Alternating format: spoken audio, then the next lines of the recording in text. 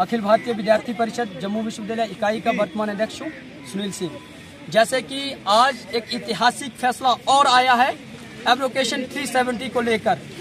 हम जानते हैं कि 5 अगस्त 2019 को सांसद संसद में वर्तमान सरकार ने 370 को हटाने के लिए बिल पेश किया गया था और अंत में वो हटाया गया। लेकिन जम्मू कश्मीर के अंदर कुछ लोग जो पावर को लेकर अपने आप में बड़े ही गर्व और गरीबों को कुचले का काम करते थे। वो इस फैसले को लेकर सरकार के इस फैसले से सहमत नहीं थे।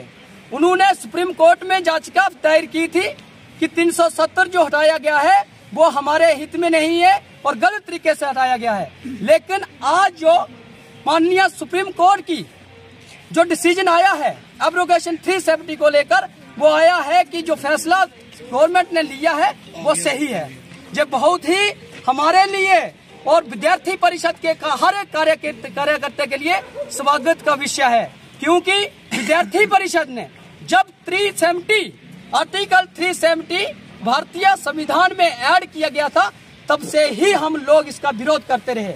जम्मू कश्मीर के हित के लिए, जम्मू कश्मीर के समाज के लिए, जम्मू कश्मीर के हर एक नागरिक के लिए कहीं न कहीं 370 एक काला कानून बन चुका था। जिसके आहट में ऐसे विरोधी तत्व और गवर्नमेंट में बैठे हुए सरकार में पावरफुल लोग गरीबों को कुचले का काम करते थे। हम देखते हैं कि वाल्मीकि समाज को 70 साल तक कोई अधिकार नहीं मिला।